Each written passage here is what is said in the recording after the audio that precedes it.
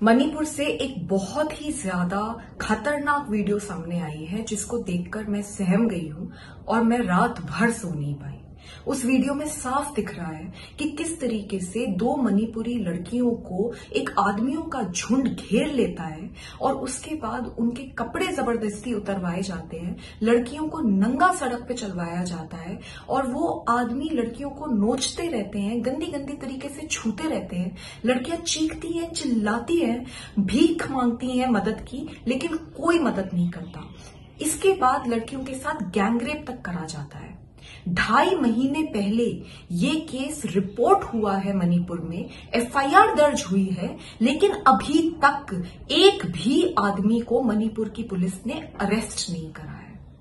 कितनी शर्म की बात है कि ये घिनौनी घटना हमारे ही देश में हुई है।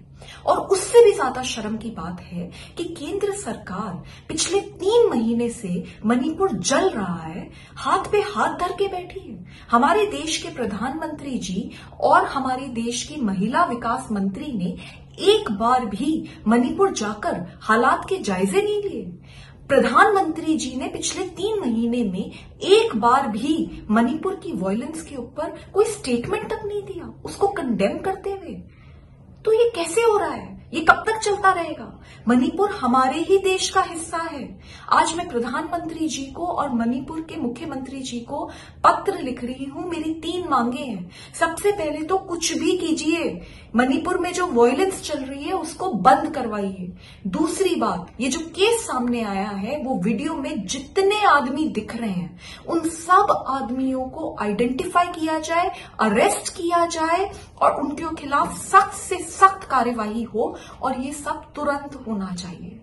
और तीसरी बात as an as a woman as a citizen as well as an activist of this country I appeal to the Manipur government मैं वहाँ आकर पीड़ितों से मिलना चाहती हूँ, उनके परिवारों से मिलना चाहती हूँ, और मैं लड़कियों और महिलाओं से मणिपुर में मिलना चाहती हूँ, क्योंकि मुझे ये डर है कि ये जो केस है, ये कोई एक केस नहीं है। हो सकता है ऐसे और बहुत घिनौने केसेस मणिपुर में हुए हों।